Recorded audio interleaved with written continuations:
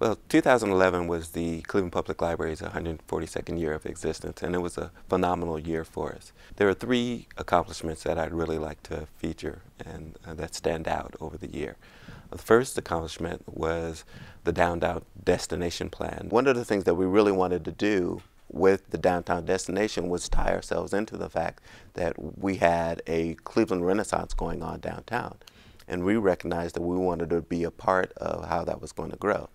Um, Cleveland's going to be a much different place three years from now, and we couldn't see the Cleveland Public Library not being a part of that. And that's what the downtown destination is all about.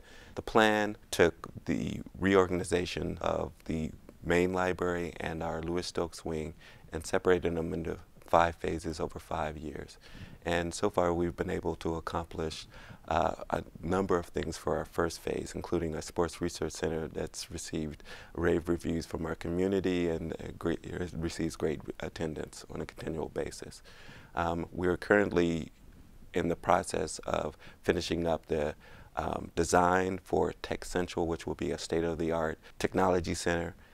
Our second accomplishment that we're very proud of is a program called MyTunes. And MyTunes is a collaboration with the Rock and Roll Hall of Fame and it allows us to do something that no other library is doing across the country, which is to collaborate with the Rock and Roll Hall of Fame and feature their artists while working with a company called Freegal, in which we were able to uh, provide our community with three free downloads of songs per week. And uh, the the reception has been wonderful for it, and our, our numbers have jumped by 500 percent and it's a it's it's an accomplishment because it's showing how we can take technology and include our communities outside of coming into our libraries. And then the third accomplishment that we're really proud of is CleveNet. And CleveNet expanded over 2011, and it's something that we're really proud of because it shows that our community and library community has really bought into what Cleveland Public Library provides for northern Ohio. So we were able to expand from 31 library systems that are part of this consortium uh, of 10 million items to 37 libraries. And uh, with that, we were able to reach and go from nine counties that we serve to 10 counties across northern Ohio. Well, our, our most difficult challenge was the challenge of finances. Uh, it's nothing new to us. We've been facing it for the past three years, um, going from a budget of 69 million to a budget of 56 million in 2011. But one of the things that, that that challenge taught us was that we can become a more efficient library and we can find better ways of serving our community. And sometimes in our most difficult times as a library financially have been the times that we've found ways to innovate at levels that um, communities have, haven't seen before. And so while the finances have been a, uh, a great difficulty for us, it has offered us an opportunity to start thinking about how we can provide services in a different way. I think one of the things that our community sees is that we provide a lot more services online. 30% of the items that we check out are items that people select at home from the computer. So that we have made a service and the use of their library much easier than it ever was before.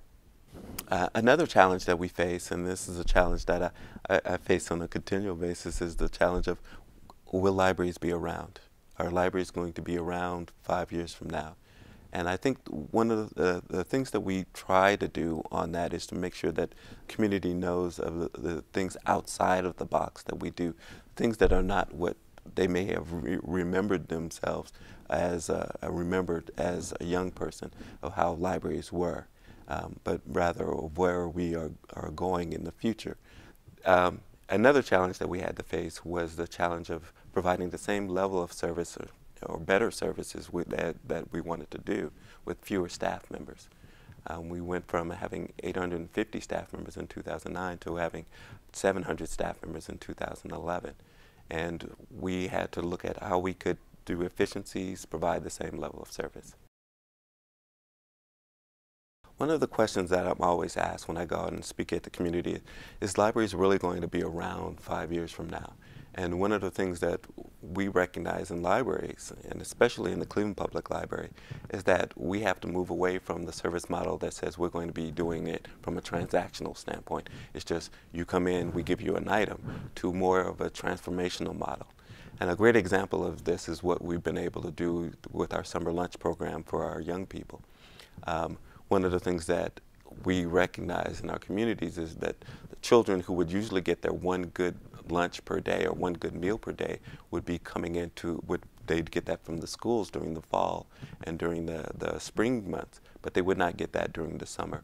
So this past year we gave out nearly 20,000 free lunches for our community in the libraries because we recognize that we have to be transformational and the transformational model is recognizing that we have to get through the barriers that young people have or any of our public has to receiving learning and, and knowledge and not being able to have food is a barrier. So it's a transformational model of we're going to see what we can do to remove those barriers for our young people so that they can then go out and, and receive learning. And that was, it was very successful for us. And the young people came in, they received their lunch, and then they had a summer reading program. One of the things I think that um, people don't see is how we're transitioning technologically.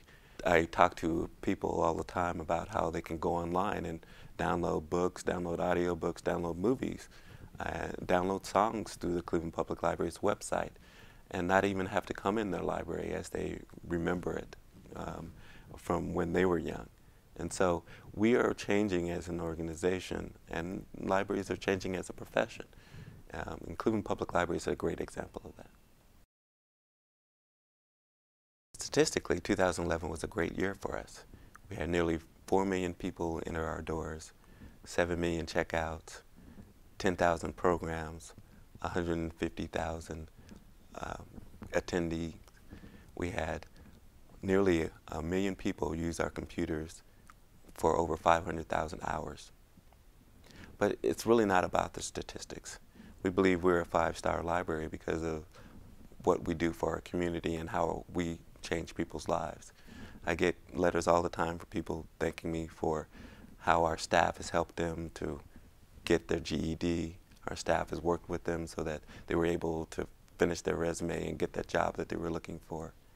How they were able to um, work on their school work, whether they were children who were working in school or people working on their PhDs. We were there to change people's life, and, and uh, we believe we were a five-star library because we were the Cleveland's place to dream, create, and grow. In 2012, we're going to strengthen our commitment to being the People's University. Um, our strategic planning uh, is in place in that we have five strategic priorities. The first priority is to form communities of learning. Cleveland Public Library has always been known as a, an unbelievable institution of learning. Um, that's our history. But what we want to do is take what we have here and leverage that with what we have in the community. That's why we're going to be working with a number of different groups in the community and collaborating with a number of different agencies to leverage our, our assets and our resources with their resources to create these communities of learning. An area, for example, might be working with the Cleveland Institute of Music, working with the Music Settlement, working with the Rock and Roll Hall of Fame, tying that into our resources that we have uh, on music in our books and our CDs and things of that nature so that we can tie those all together, leverage them, and create this community of learning. The second priority is to fight community deficits. One of the pieces that we've been challenged on um, a great deal is the idea that the Cleveland Public Library can be a community deficit fighter. I believe that why we cannot succeed as a library unless we become a community deficit fighter because our whole job in being a library for the Cleveland community is to do the things that are going to make the Cleveland community successful. When you look at children who may not have food, and that's a deficit for them, how can they succeed? How can they think about reading when they are hungry? So there are barriers that are there to learning, to reading, to knowledge. Community deficit fighting is just simply working with tools and resources that you have to bring down those barriers to stop those challenges so that the young people and everyone who has some deficit that stops them from being able to reach that level of knowledge that they'd like to have is, is able to reach the goals that they're wanting. And we're going to do the things that we can to make that happen. The third priority is ready for the future, Cleveland Public Library at 150. The Cleveland Public Library is 143 years old. And as we look to our celebration of 150 years of providing services to the Cleveland community, we're looking at how are we going to provide services in a different way. Um, we've already been a, a leader in how we provide services online, but we know that there are going to be different services that we have to provide for the future, and we need to start looking at that right now. We want to be a trendsetter on how libraries provide services to their community. The fourth priority is to cultivate a global perspective. I've recently moved to Cleveland three years ago, and one of the things that I find to be truly an asset to this city is the global perspective that it has from the fact that it has so many um, different groups from uh, different immigrants from different countries that have come here and, and, and found its way in this city. That's something that we want to feature in the future here at the Cleveland Public Library because it's, it's a great knowledge tool for so many of us to be able to learn about the different cultures that is, is such a part of the Cleveland city and has been such a part of its success. And the fifth priority is innovate for efficient and sustainable operations. It's basically just doing more with less. And so we've moved from a, a budget of $69 million in 2009 to the budget that we're going to have of $53 million in 2012. We've been able to do that and provide a level of service that continued to make us a five-star library. Um, we've been honored because we've been able to take our technology and create a process in which we've been able to provide the services at the same level and the community hasn't seen any difference. It's going to get more and more difficult as time goes by with the financial constraints that we are under. But we wanted to make sure that the community knew that we take the expenditure of their tax dollars very, uh, um, uh, very seriously, and we want to make sure that that's a part of our strategic plan. Our success is, is, is, going to depend on not if we keep looking back at our past 142 years, but that we keep looking forward to what the next 150 years will be like. And in that, as long as we keep our eye on the prize, and the prize is what do our what will our community want from us, and then we keep asking them that question and we keep listening to them, we'll be successful for a very long time. I want to take this opportunity to thank the Cleveland Public Library's staff and our community who we serve. Community has stood by us as we've had some very difficult times over the past three years. But I'm very, very committed as your director to making sure that you're going to have the best library in the country. While our rankings may say that we're the fourth best library in the country, I know that the Cleveland Public Library is the first library in your heart. So we thank you for all that you do for us.